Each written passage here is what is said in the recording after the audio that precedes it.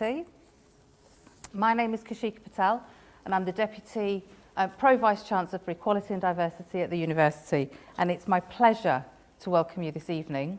Uh, we're going to have a lot of fun, uh, a lot of chat. Ivan and I have already been chatting, so uh, you might have to stop us if you've got any questions. We will remember that you're there.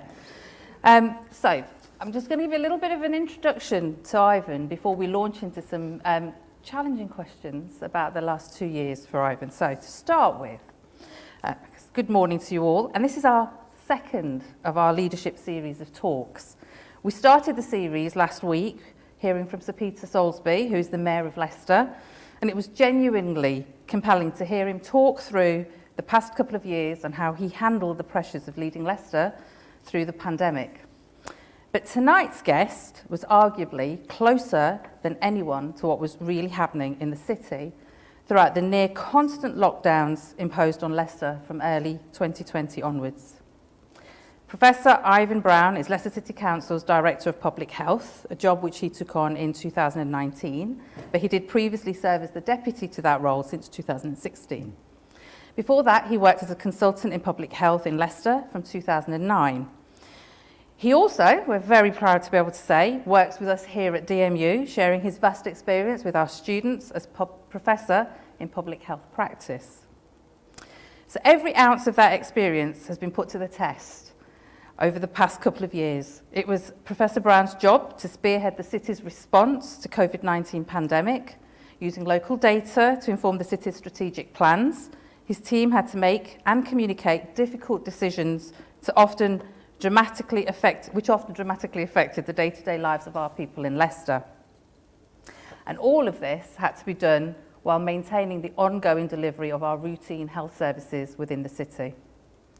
But proving the old axiom that there are no challenges, only opportunities, Professor Browne and his team excelled, pioneering projects to tackle the virus in built-up areas including a local test and trace scheme, which would then be replicated in many cities throughout the country. So as Director of Public Health, Professor Browne is responsible for public health services within the city and has the duty to improve public health across Leicester. And that literally is quite your job description, isn't it? That's, that's what you do. So, what does it feel like to try and achieve this during a global pandemic in a city that has been under national scrutiny for the condition of its public health? How do you decide as a leader what to prioritise and when everything is a priority? And how do you keep a work-life balance when the two have to be meshed so totally together? So that's what we're here to find out tonight. So can I ask everyone to please welcome Professor Ivan Browne.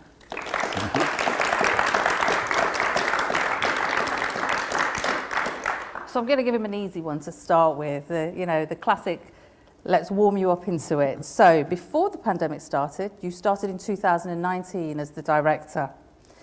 And then a year later, you launched into COVID 19. But was there anything in your career prior to all of that that prepared you for this unwarranted event? I, I think that um, thinking about being prepped for a pandemic, no, I, I think that, that, that, that's, that, that's pretty clear. But actually, thinking about the the principles that prepare you uh, to, to, to do that. There's a huge amount in terms of response is about people. It's about, uh, it's about connection, it's about how you get on, it's how you link up with people. And I think that all through whatever job that I've been doing, that has always been really quite key for me about how you, how you make that connection with, with, other, with other people. And I think there's, that's, that's what you bring in, in terms of your, in, your entire life. Um, so it's not just in a work setting, but also in social settings. About in my own community, you know, you were always given a little task to do, whether you were doing it within your your community or within your church or within your, you know, out with your friends. But they all feel like small things at the time.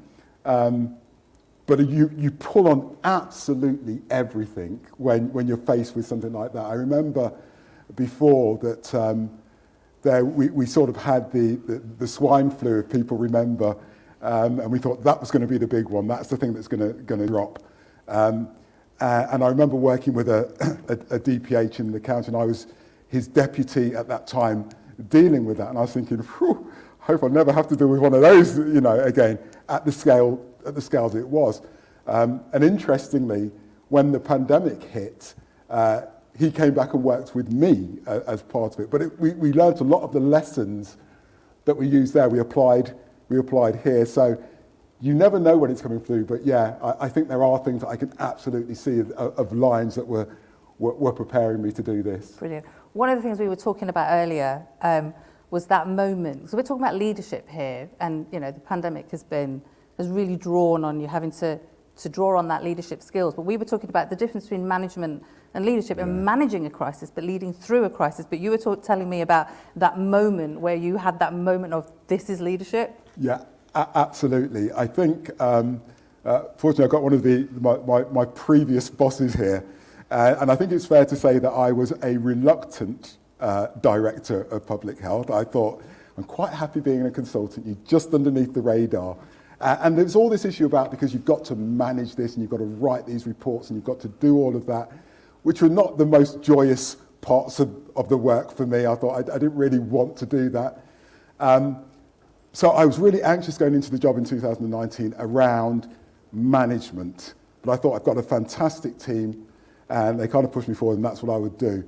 The moment that I realized I can actually pinpoint the second that I realized that I was in a leadership role as opposed to a management role. And it was when the announcement came that Leicester City, uh, and actually some of the boundaries of Leicester, were in a local lockdown. And I was used to doing a little bit of media, not really fazed by it totally. Uh, and so Peter said, oh, we've got to go and speak to the press. It's much easier if we do it in, in one setting, one press conference, as opposed to you know, doing lots and lots of uh, separate conferences. When I went down there, anybody who knew, knows the City Council, there's a big hall in there called Attenborough Hall, and it was full of the media. I mean, live streaming on Sky, live streaming on the BBC, Al Jazeera, New York Times. It was this, I had this podium, and you see those when, the, when people, and it was just full of microphones. Uh, and, and I was okay because Sir Peter was talking, and I was like, he's the lead. And then at the end of it, Sir Peter just went, so now I'm going to hand over to our Director of Public Health. And it was that moment when I stood up, I was like, right, this is it. You know, everybody is now looking at you. And this is now a leadership piece. This is about what am I going to say to the city, first of all, but actually to the country about my city, about what we are going to do next. And that was about leading the narrative that I wanted to be pursued for Leicester, leading the narrative about what we were going to do. And that's when I knew at that moment, I'm not a manager anymore. I'm not even a director. I am, I am now a, a leader in this position. Brilliant. So I want to take it back to we were under the spotlight quite a lot throughout the pandemic. And then we were under the spotlight for, for looking at particular issues and areas that are particular to our city. So as the cases grew across the country, we started to hear about the impacts of COVID on particular communities. And the data seemed to be showing the differential impacts on different ethnic communities um, and also in the socioeconomic groups. So knowing the demographic of our city, you, you were born here, you've grown up here, you've, you know, you've come back to do your career here, you, you know Leicester and its demographics. So how did you take your leadership, take what you'd learned from the previous role, centered around the avian flu, and, and what we'd started to understand about how COVID was hitting different communities. And how did you translate that to Leicester's demographics and how you as a leader were going to lead us through or understand what was happening in our city? So, so I think that when, when that data started to come through, uh, in fact, it wasn't even data at the beginning. It was, it was really people having conversations and saying, oh, it looks like the profile of people that are most affected are, you know, from a, from a black community or from a different community or from a deprived. So we had this kind of feed that was coming through. The minute that you start to hear that, your, eh, your ears prick up because, first of all, that's your community. So that's radar one. Secondly, it's Leicester. You know, it's, it's Leicester. We, we look different to other parts of the, of, of the country. So I immediately was starting to think about what does that impact look like? How is that going to be played out here. Uh, and I must admit, being one of the, at that time, being a, a director of public health for a year, your plan is, your hope is, that let it happen somewhere else first, and we'll just follow the blueprint that, that's already been laid out. But when it's you first, you're having to, you're having to, to set that agenda, and you're having to take your city along with you, and you're having to recognize the, the, the communities and the differential impact that that's having on communities and how they feel about that. So there's a huge piece that had to be done about saying, I hear it. You know, I hear it. I'm worried about it. I'm anxious about it for a city. And it is in the forefront of my mind. We didn't even know what we were dealing with at that time. So you couldn't make a promise to say, and this is what we're going to do. It was, uh, people want to know that they have been heard. People want to know that this issue is not going to be something you push aside, but in whatever you do, you're going to, you're going to bring that to the fore. So I think that for me, that was one of the, the key elements was to say, I, I hear this, I see this, I'm invested in this, uh, and be sure as can be that I'm going to be looking and trying to, to make sure that we, we manage it.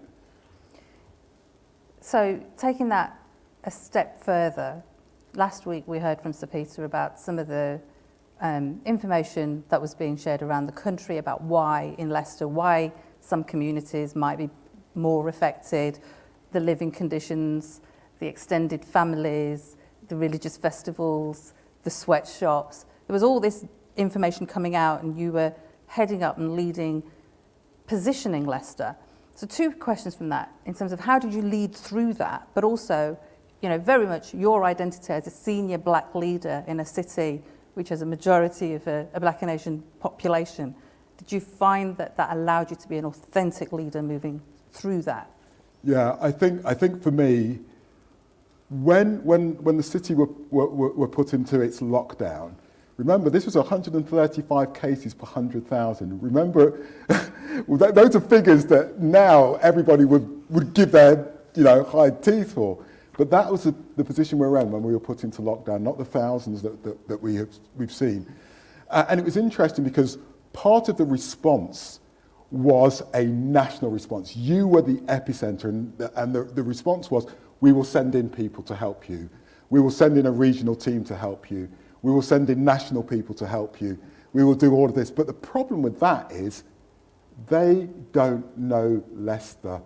They know it, they know it from a, a geographical and, a, and an epidemiological point of view, but they don't understand the city. When you're trying to deal with something like this, you have to understand community. You have to understand how communities work, how they operate, what people's individual um, ways of being are. So when I started to hear, or well, you know, from the, almost from the national team, oh, it must be, it must be Eid, or, or, or it must be, you know, the sweatshops that you have within the... My first thought is I was personally affronted by it. That, that was my, my, my first feeling was a bit, how dare you, um, if I were to be candid about it. Because not only did I not feel that the data supported that, I, I, I am a person, my job is to look at the information, look at the data. I'm not going to hide away from it. But just basic logic said to you, looking at where the cases were, uh, looking, and if you understood that in a lot of those areas, people were not all the people working in that sort of industry.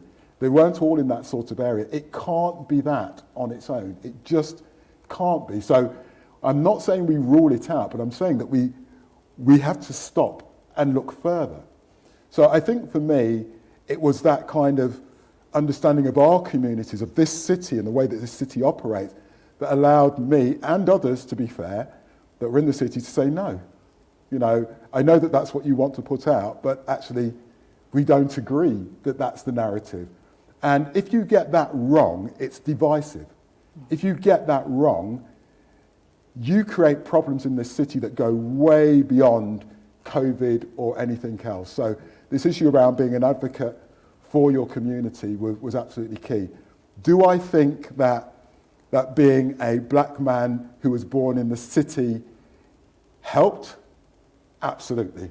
I, gen- I genuinely do. Um, and I say that because people told me so. You know, people have come up to me as I've walked through town and said, yeah, I wasn't too sure about that, but I know you, you know, or you speak like us or you look like us. It makes a difference, you know. I think representation is not just something that's nice to have in times like this, it's, it's a necessity. And we've had really difficult conversations and challenging conversations with, with parts of my own community that, that don't want to do certain things. And we might respectfully agree to disagree, but I get through the door to at least have the conversation. And I think that's key. But that's a whole different set of leadership skills because you were you and your team were challenged from a national perspective, being told what was happening in our city. So that's a whole different set of leadership skills you were having to draw upon. Draw upon. And what did you kind of learn for yourself about yourself and how you were, how you were leading or how you could lead to get any, to get heard that you're not right. This is we're standing our ground. Well, I think I think first of all, uh, I realised that I would like to say that I was more resilient than I thought I was, but actually what I realized is that I had far more capital and support than I thought that I ever had. So um, I had colleagues that I'd worked for, worked with in the past who said, oh, I'll come in and give you a hand, or, or, or who would pick up the phone and say, yeah, I've heard that. What do you... People who would just wrap themselves around you. So you never, I never think that I felt that I was on my own doing this. I never felt that this was just me being belligerent or, or anything like that. And even at those moments when I felt weak, actually I had people around me saying, you can and you will do this. Um, so I can't, and I, I don't say that in some kind of false humility. You can't go through something like this. You can't lead in that way without having a really strong group of people around you. And so that point about what prepared you, what are the things that you did to prepare. You didn't, I didn't go out to do that, but what I had is all of those interactions, all of those, those times that I've spent time talking to people, spending time, we've done things together. You cash that in, you get the opportunity to cash that in. And, and, and I think that, that I definitely pulled on that, and I have been pulling on that for two years at least. Brilliant. I'm going to take you back to something that you said, which I think is really important when we talk about leadership. And you said that those moments when you felt weak and those people that wrapped around you that said you can do it, you know, it's often suggested that leaders can't show weakness, can't show vulnerability. But do you think showing vulnerability is also a sign of strength and a sign of leadership to recognise that you need support? And Absolutely. I think I'm, I'm, I'm of the, the opposite. I think it's actually dangerous. I think I find it more dangerous when you have a leader who would indicate that they have got the answer to everything. I think there's a difference between being, being calm and assured, and I do try to project, you know, that we've got this, you know, City, we, we, we, we, we've got this. Um, but really recognizing that I will have moments of weakness, and my team have been unbelievable. And there's somebody uh, that I've just online, there's a guy called Graham. I don't know if you're listening, Graham. But, but Graham um, would write me an email. He just clearly just got my email from somewhere. Write me an email and he'd say, just to say, Ivan, seen you, really like what you're doing. What do you think is happening with this? And we've just got into this conversation around this is where it is. And he would always sign off, really proud of you, really proud of your team. Keep doing what you're doing for Leicester. You know, things like that are the things that like, all right, okay, had a really crap day, but you know what? This is all right. And, you know, and I've had cards from people that's like, just keep going. Of course, you get all the other stuff as well, but those, those, those moments make a huge difference. And that leads so nicely into that, that next question that we, you and I touched on previously, that, that you are not just a leader, but you um, have a home life. You have a, a private life. You are a face of the city at this point. People are seeing you all over the news. Um, but you have to go, you go home and you need to have a space to unwind and be with your family. How did you manage? Because actually you probably couldn't because it was all in the news. So how did you manage that? How did you manage that? So, so I mean, I just have to say you know, um, that my, my wife, so we're all kind of involved because my wife is a, is, a, is a local GP as well. And, um, and we have two boys um, who you know, are completely pandemic, whatever, we are meant to go out kind of situation. Uh, and, and I, particularly in those early, uh, the, the, when we were really in the spotlight, it was literally work until two o'clock in the morning, grab a couple of hours, wake up the next morning to prepare for what was coming. And, and what happens is, you know, your partner carries it. You know, they, they carry it. And, uh, and Linda was very much kind of, we need to get through this. But I think the, diff- the, the thing was there was an understanding that she knows that this city is in my heart. And this wasn't just a job. And she knew if I don't feel that I've given this absolutely everything, it's not the risk of failure, it's the risk of thinking I could have done more. Yeah. Uh, and, and I think that when she got to, when she understood that if I didn't get through that, I, she's going to, I'm going to be grumpy for a long time. going to be even grumpier for even longer.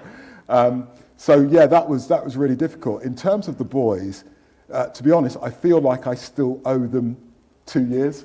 Yeah. I just feel like I do because I'm I'm always I was always out and doing and and you, and you get quite short around stuff as well. Um, uh, but you know, that's where your family comes, your friends come around, and they, they take up the slack. They kind of say, I'll, you know, I'll take the boys swimming and I'll do this. They create, they create some space for you. And I've got a few friends that are like, they're like uh, GP receptionists. they create, they are the Rottweilers at the front that say, no, don't give him that. No, he's busy doing that. Just to create that, that kind of space. So all of those things absolutely helped me through. And, uh, and I've, I've had a, a number of times where people said, well, just how have you, you kept going? And it's been, it's been that, you know.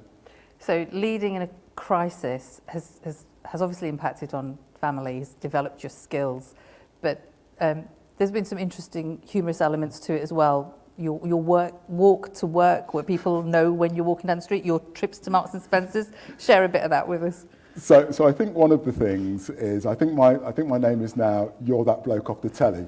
Um, so very often I, I, I walk into work, particularly in the early, and I had to factor in additional time for my walk to work and my walk back from work because somebody would invariably stop me and would say, So, how's it going then? What do our figures look like? So, off the, off the top of your head, you have to say, Well, we're here and we're doing this, and then it'd be, When will I be able to fly? Are we in lockdown? Can my kids go to school? So, you would be doing this on your walk, and the best place was Marks and Spencer's. Marks and Spencer's was unbelievable. So, if, when I went into Marks, the first time I, in the midst of the crisis, because busy, busy, when I started to get a bit of a gap, I was able to go and get some lunch from Marks and Spencer's. I just got surrounded by the, these people that were in Marks and Spencer's that were just saying, oh, yes, you, Professor Browne, anyway. And, and then there'd be somebody tugging somebody away and saying, no, let me just ask him about my neighbour, and this is particularly the one where you, when it was about, you know, reporting people if they had not complied. My neighbour had this party on the such and such day, and can you, and you know, and, and, I, and I, don't get me wrong, I, I love, that is my favourite part of doing this job, without a shadow of a doubt. Meeting people in Leicester, and, uh, and particularly for me, being a Leicester person, you know, being able to have conversations with people in the city about this fact that I can particularly help them with. I can't necessarily help you with all the stuff that, that, that came. And I, I, I think I've got one that's in my email box this, that I, just before I came, which was about a cat defecating on a lawn in front of their, in front of their, their house. But now I am Mr. You know, Mr. public Fix health, Mr. Fix It. So yeah, I, I, I get a lot of that, and I and I and um, but I do like it. I do I do enjoy that part. It makes it feel like what you're doing is real and tangible. Excellent. So the question which you have to be asked, and, and you'd be remiss to not ask you, is now that we're being told um, to live with COVID, how are you and your team, the council, looking at how we're going to manage that? What will our public health look like? What should we be thinking about? What should we be moving forward to? And what and what's the next steps for your leadership in this? I think this, this, this is a really great question because it does talk about this issue around leadership and management. I think previously, when there was all the guidelines that were in place, it was frustrating because the guidelines, the announcements would be made, and then the guidelines would come after the announcement, and then you'd have to interpret the guidelines and tell people what was going on and what was happening. But it felt like you were doing something, you were, you were managing it, you were dealing with it, you could give people something tangible. Um, with the removal of all of that, particularly when you, you know and you feel that there's still a long way to go on this journey, it then becomes about pure leadership. Because I can't compel people to do it because there's no, there's no legal requirement for people to do it. So how do I have a conversation with, with a city or a citizen to say, I know it's been so long now, I know it's been you know, well over a year and you still haven't had your vaccination. I still think it's mightily important that you do and, and, and it's important for the city and it's important for the community, it does require me to have use pull far more on leadership skills, you know, the example skills, the, the, the, the, the dialogue skills, all of those kind of things to, to move, move us forward and to continue to move us forward than perhaps where I was before. But, but it is perhaps the most, the most challenging part for me, even though it's probably uh, for everybody else thinking, well, actually, it, it's less now. On my walk in, I have to say, on my walk in, I was told by one of the, my regulars that said, oh, Professor Browne, I heard the announcement, it's all over. and I'm like, oh, no, it's not. We've still got a way to go. So, so yeah, continue to pull on that uh, constantly. And I, and, I, and I don't know where it's going to, to go, and I don't know how successful it's going to be, but I'll be using a lot of those things that we've just spoken about as, as seeing whether we can continue to say, look, we as a city have gone a long way. We cannot afford to go backwards. We've got to continue to be, to get out of this as quickly as we can so that we can recover as quickly as we can. I just don't want us as a city to be left behind uh, as a result of this. Brilliant. Thank you so much. I could keep talking, but oh, I am conscious um, we have we have people yeah. here um, that we might need to bring into the conversation. Um, before I do that, though, um, I am going to open up to you all to ask some questions, and I hope you've got some ready. So give you time to think about it. We did have a, a question that was sent in by a, a student. So uh, Sibanda, who is a nursing student, um, asked, "What are the challenges of health education and promotion during the COVID pandemic compared to generally?" and how did you manage these? It does sound like a bit of an essay question, so you don't have yeah, 2,000 yeah. words for that. Yeah, I, I, I see what they're, where they're going. I wonder whether that's an assignment. Uh, that's what it feels yeah. like an assignment piece. Um, but, but, but I think it's, it, it, it's been really interesting from a, a, a, from a health education and health promotion perspective, actually, both good and bad. So from a, from a, from a good point of view, we spent, prior to COVID, an inordinate amount of time trying to raise issues of health. Uh, and one of my, my favourite and most frustrating um, examples is I remember, that, and I put this down to the editor of the paper, we managed to get a little bit of a, a, a press coverage around obesity and a program that we were doing in relation to obesity, really really chuffed that we'd got this into the paper, got it in the paper. At the same time, on the opposite page was a full size advert for McDonald's. You were going to say that. And I just realized, ah, so I've got this and they've got this. And it just felt constantly like that's what it looks like. That's, that's what health, you know, health promotion looks like in this, this COVID world. So suddenly, to be in a position where you know, I just remember walking into Sainsbury's and seeing my face on the front of the paper because I'd uttered something, you know, a mere utterance about COVID uh, was sufficient to put my face on the front of the paper. I remember doing something, I'd, I'd mentioned something in, a, in something that I'd done for the Royal Society of Medicine, and I was on the, on the front of The Guardian. And, and these were things that were just unheard of. I could, I could have conversations about, about health that were, that were great. But, so that, that was a good side uh, of it. Um, the downside of it now is unless it's COVID, nobody's talking to you about it. Uh, and, and, I, and I suppose I have, I have fears about the big things that really impact on the city going forward. You know, mental well-being, cardiovascular health, all of those, those issues, sexual health, alcohol, smoking, all of those things that, you know what, I want to be on the front of the paper to talk about. That I, st- I still worry that I'm going to, you know, gradually move further and further back to the kind of comment pieces.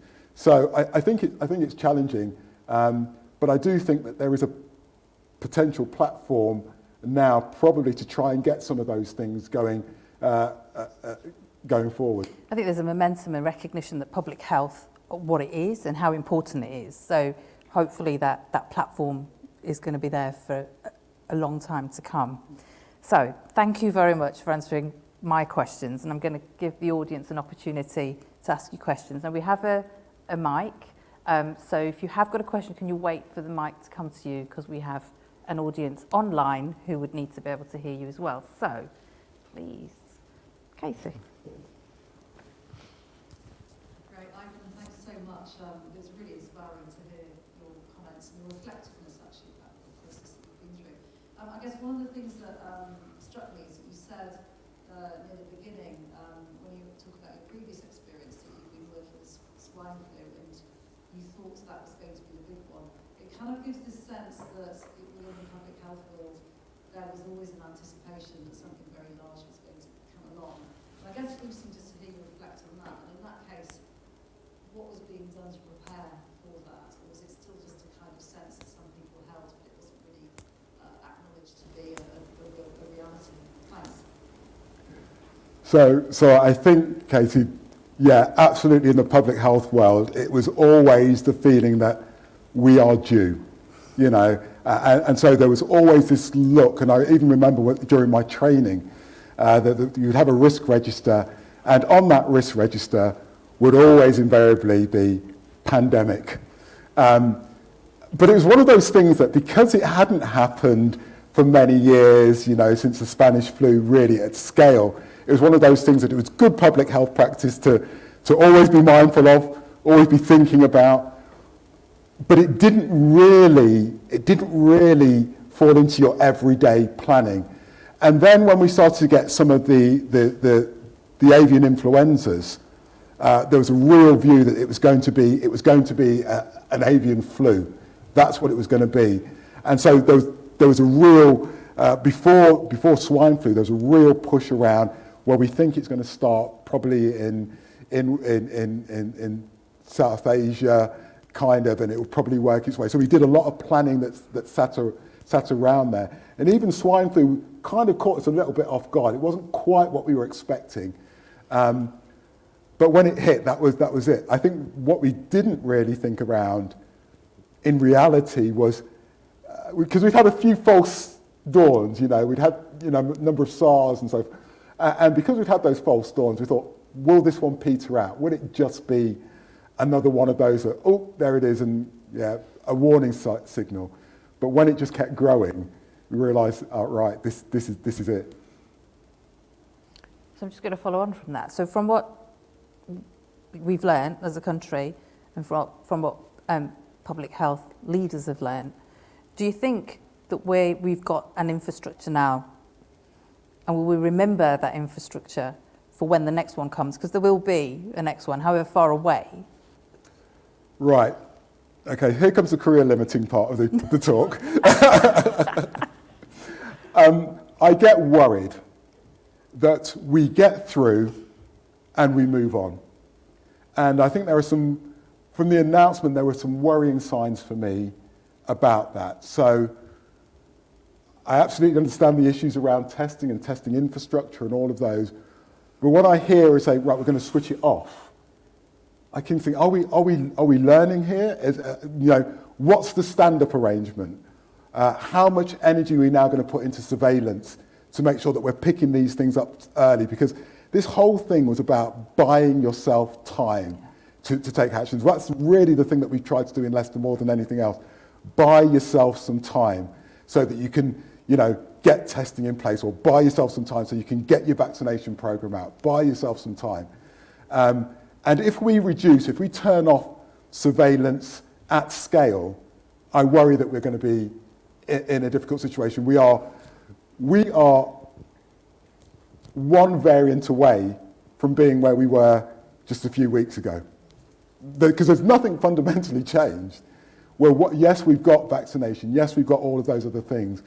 But I think we have to, to put in infrastructure that allows us to early warn and have a rapid response and to support it in those areas to, to, to cut it off. And I think that that, for me, is, is I don't feel like I'm assured that we're in that place now. I'll hear my card in the morning drop. but that gives an opportunity, certainly let's say a local level, because at a national level it's, it's a national level, but at a local level, there, there are lessons learned, aren't there? Absolutely. So one of the, so, so there are things that are within our gift. So for example, the contact tracing team that we had and that we piloted that was rolled out across the country. Um, the individuals in that team actually work in other parts of the local authority. The core of it works in other parts. So we, we used our customer care, our, our customer contact service to be able to put them into this. What that means is that if we are in a position where we have to stand up a rapid response, we've got the people in the team to be able to do that. You know, the, the, the fact that we, we try within the public health budget to at least carve out, we haven't got much, but we try to carve out a little bit, say if we did have to respond really, really quickly, have we got a little bit of budget that would allow us to buy ourselves some time whilst the rest of the country catches up? So those are the things that we're trying to do locally to say we can go, that we don't have to wait a week or two or three, because that's where, that's where you lose it. That's where, where it's gone and you can't, you can't pull it back. You're on major catch-up at that time. Brilliant. So there's a bit of a recovery. um, okay, who's next? Simon? Wait for the mic.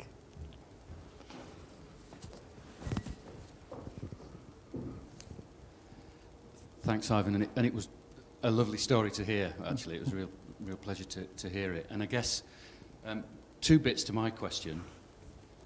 Firstly, in, in your profile now, so certainly you, you've displaced Gary Lineker and Showaddy waddy and, and Engelbert Humperdinck as the, as the face of, of Leicester in that way.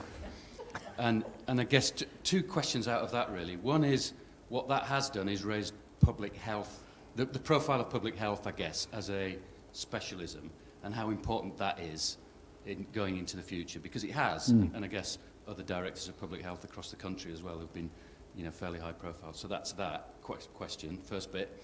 And the second bit is, you know, from all that you said to us tonight, there's obviously a real um, story of love around Leicester and, and the city.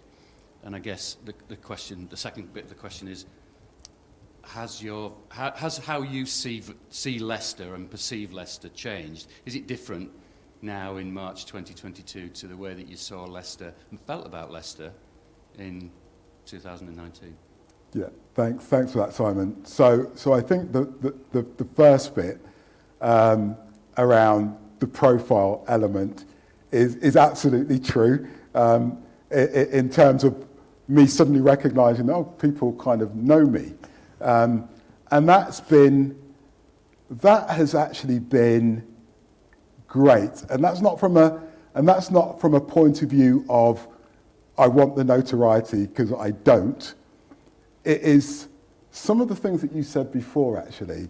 Um, members of a community that I have grown up with saying, I'm really glad that we've got a Leicester guy leading this. Or people from the, the Caribbean or the black community saying, you know what, it's really nice to see somebody that looks like me uh, being in, in, in this spot at this time.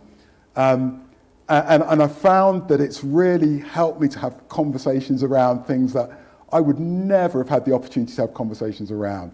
Um, as you know, Simon, education is hugely important to me.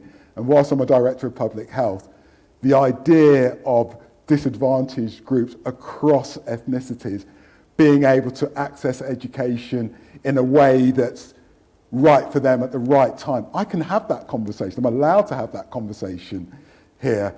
I would, I would give you credit uh, and De Montfort credit, which was, you know, they made me a professor before all of this happened, you know, so well done. so, but, but, but even with that, that, that again gets me through, through doors that I perhaps wouldn't have got through before to be able to talk about the city, to talk about health, to talk about community. So I think, yeah, it, it definitely, it definitely is, um, it is an opportunity and a responsibility that comes, that comes with that. And I'm, I'm very mindful of the fact that I have, to, I have to represent this city and I have to represent my community really well.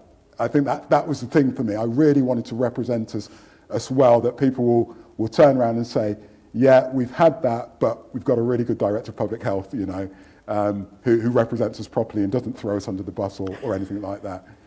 Uh, and and the, the, the second bit the city, um, this, this really goes back for me. Uh, I have studied elsewhere, and, and, but I've always come back home. I've always come back to Leicester. Um, it's been interesting, when you do get profile, people offer you opportunities elsewhere. And I've been really clear that the only place that I've ever wanted to be a director of public health, even a reluctant one, has been Leicester. It's the only place. So thank you for your kind offer, but no, it's, it's, it's all right. Um, it's, the, it's the place. And the reason for that, and this is the issue around a city welcoming people, and that, that goes back to my parents. My mom served as a, a nurse, a, a, a sister, a senior nurse in UHL from the time that she was probably 21. She came over from the Caribbean, she did her training in London. She served in this city, was part of this city. My dad um, came, didn't even know what the place was called, Leicester, he thought it was. He had a, you know, a bit of money in his pocket. Uh, came here because other people from Antigua came here. Uh, and in the midst of all of that, he had a real emphasis around public service, a real emphasis. Even though he was a builder, he had a real emphasis about what this city provided for him. It wasn't perfect, it was a, a tough time as a migrant, but he did recognize that other places were having it far worse. My, my family, a lot of my family were in London.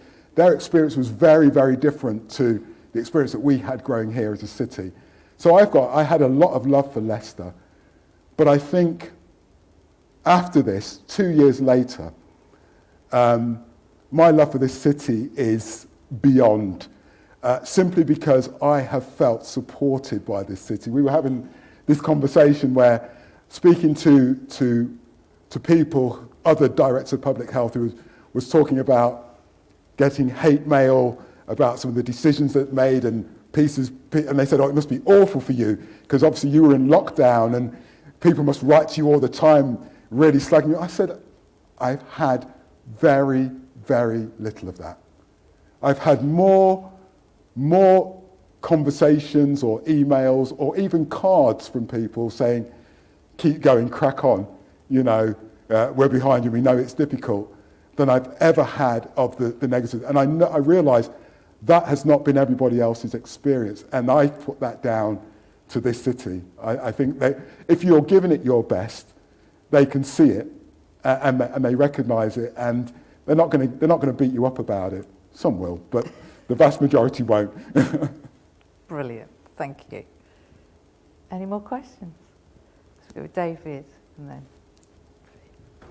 Thank you very much. Really interesting conversation. I suppose my thoughts are really about the challenge of stakeholders. And I think as a leadership challenge, thinking how you engage with stakeholders is, is a challenging part to start with. But I think of actually the wide range of stakeholders you've had to deal with, community, businesses, multi-agencies, national, local politics, as well as actually the polarization perhaps across the pandemic of those um, constituencies what's your leadership's thoughts, I guess, about stakeholders, and, and did it hold true, and has it adapted through the two years of the crisis, really?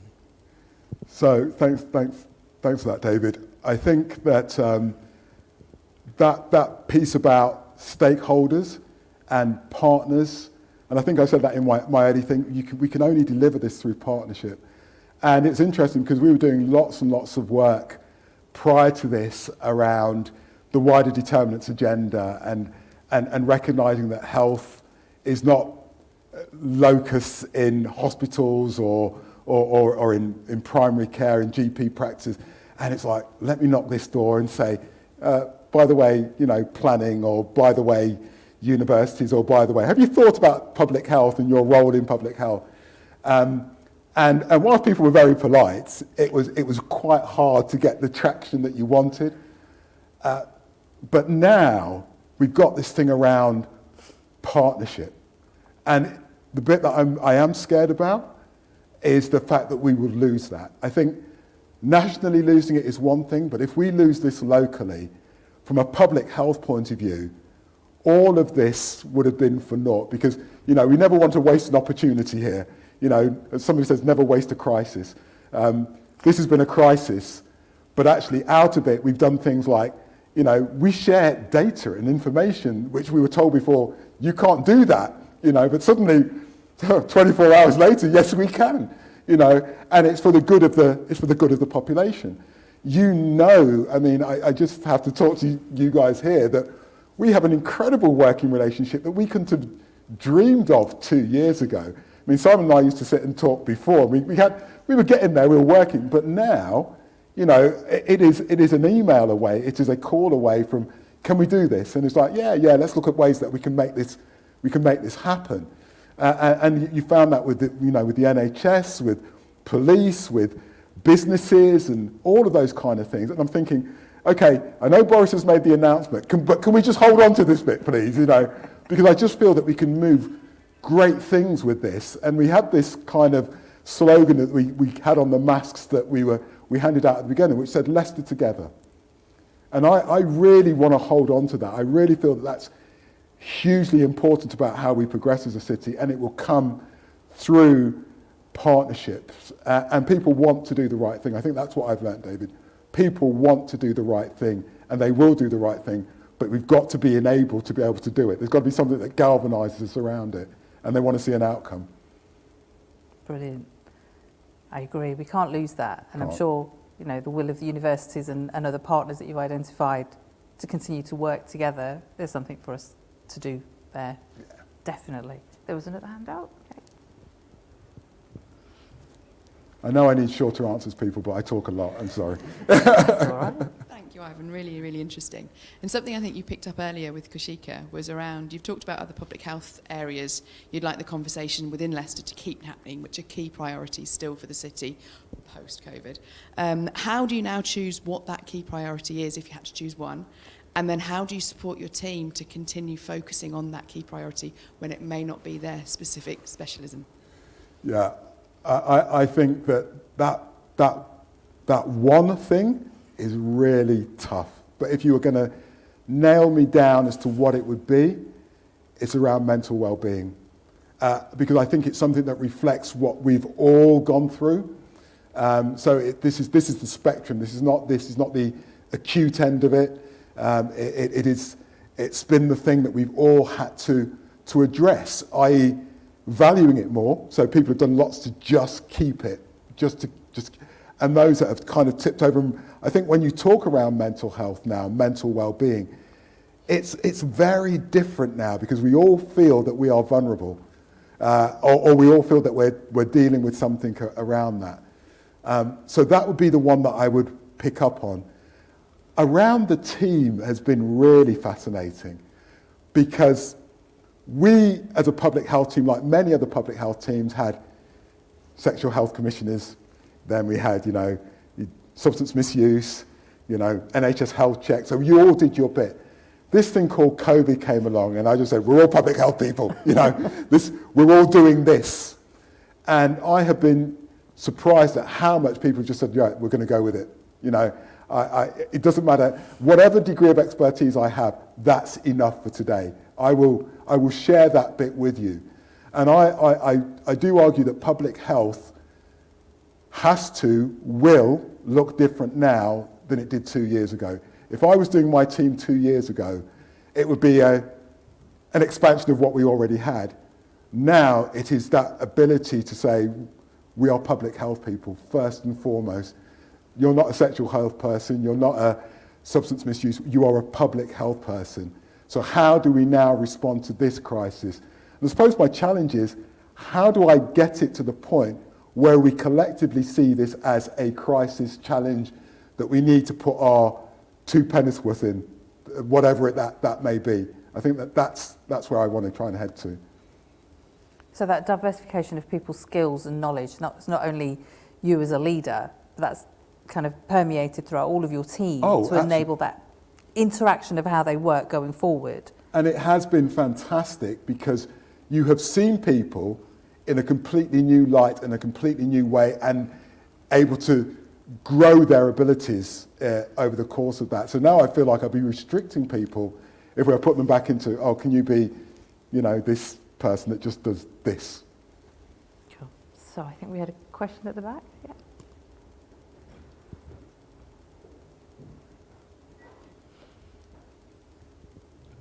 comment, first of all. Um, thanks very much for this um, wonderful talk and insight into your feelings as well as your leadership uh, skills. Um, my main concern, really, over the COVID period was about young people.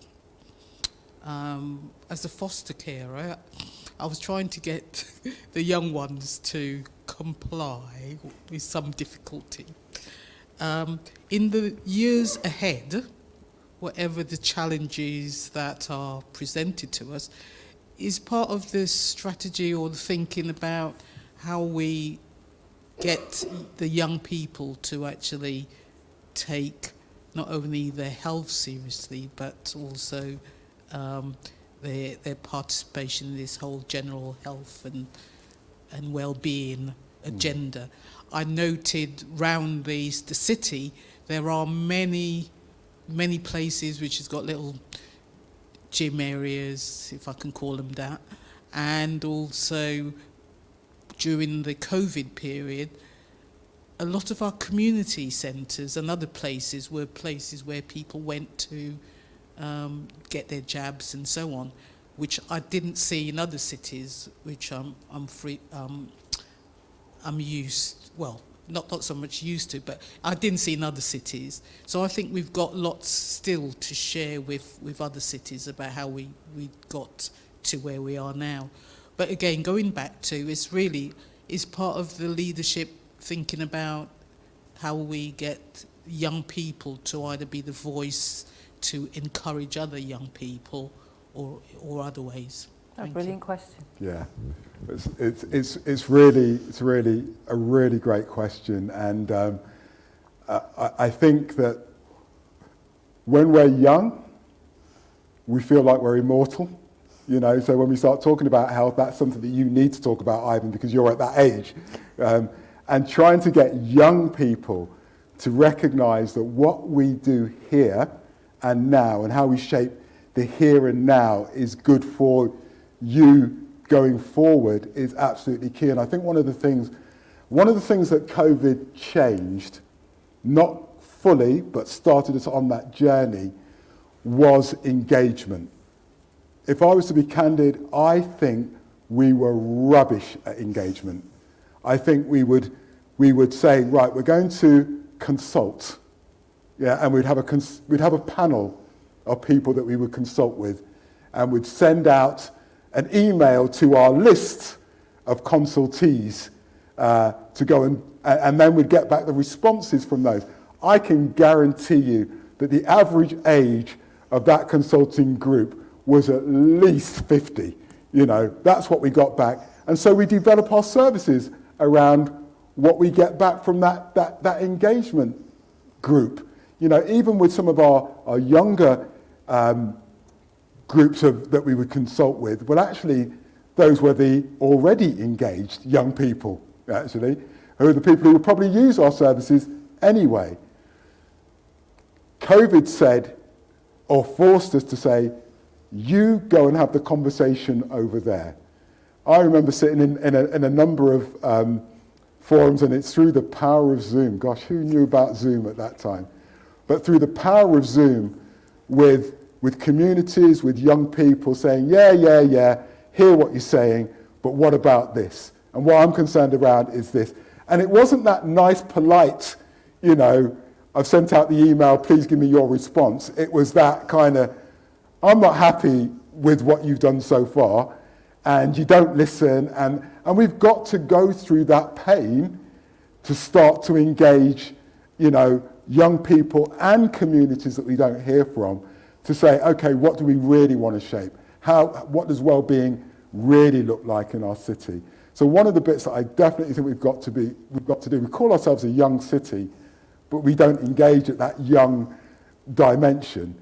We've got to continue the starting point that we have with engagement going forwards. And, and, and what I can say to you is we are definitely doing that within our team. We're definitely trying to, we've got a lead member who keeps saying engagement, engagement. Let's, if public health can't do it properly, who, who can? So I think that's become a really big thing. So we're not there, but we're definitely on that, that, that journey to try and be better at that. And we did find out today that um, uh, Ivan found out that he's on Snapchat, though we didn't know what it was. It's an access to a different generation, a different population. Um, so that's a start, isn't it? It was, it was. I was so impressed. I just had to make sure it wasn't a dating site first. so uh, obviously engagement, I mean, it's, it's the things we talk about in the university. We have lots of young people here. Um, it's about how we engage with that younger generation, and it is absolutely going forward how we tackle public health, how we're aware of future situations and our day-to-day -day health is making sure we're educating our, our the generations that are coming behind us. I won't necessarily say the younger ones, but the mm. generations coming from behind us and different engagement. Um, so, uh, you know, are you, do you, do you see yourself in your service exploring more of those different ways of engaging? Because as a, as a leader, it, like I say, it's not just the surveys, it's, it's now Zoom, it's Snapchat, it's whatever else is yeah, out there. Yeah, absolutely. And I, and I think one of the things, and that's why I'm, you know, the work that we've been doing with, with partners in the university, it's very much with listening ears on.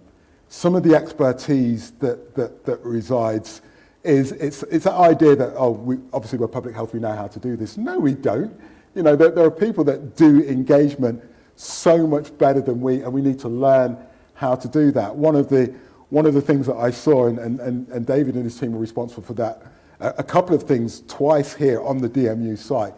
Uh, one was when we set up, uh, they set up probably the first university-specific um, uh, screening testing centre on site here. Uh, and I know it was done by others, but the engagement piece that went around that to say, okay, you've set up a site, but this is how we're going to make it work. This is how we're going to make it work for our students, plus beyond, you know, that was the work that was done here. That, I need that kind of engagement in, in, in what I'm doing. And we also did the same when they did the, um, they did the first vaccination, university vaccination on, on the site. And I saw uh, university students going this way, here, this, you know. It was young people engaging young people to go and have a vaccination. It was young people, not a clinician, not anybody else, saying, have you thought about having a vaccination? You know, uh, they weren't experts, but they could have the conversation with people around it. And I think it's trying to get to that place. So a lot of the work that we're starting to do now is we've, we've got some money around uh, community vaccination champions, community health champions. I really want to see that across the city and recognise that that expertise resides within communities to, to be able to engage. I can't do it at a, at a, a public health level. It has to happen at that kind of community level to get it back. And what's the two-way mechanism that means that we can get the messages down that we want, but actually, quite importantly, we get the responses as to the barriers coming back up so that we can do it that way. Just got to get a lot better at that. But I think there's, there are some, some green shoots that seem to indicate that, that you know, we, we might be on that journey. Brilliant. So I'm conscious that I've kept you talking for an hour, although we, we, we, knew we would, and we could carry on. But um, it is that time of the evening now uh, that uh, it's time to close up. So I want to say thank you very much, everyone, for joining us and for your questions. Thank you so much, Ivan, for sharing the professional and the personal journey that you've had as a leader through the last two years. So we show our appreciation for Ivan spending time with us. Thank you.